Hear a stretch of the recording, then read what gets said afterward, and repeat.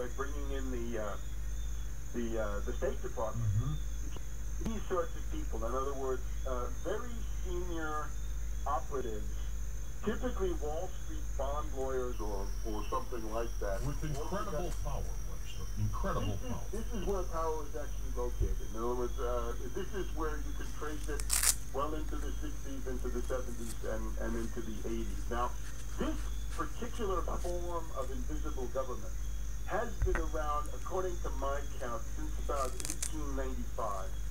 It arises uh, at, well, under Grover Cleveland, if I just tell this little story.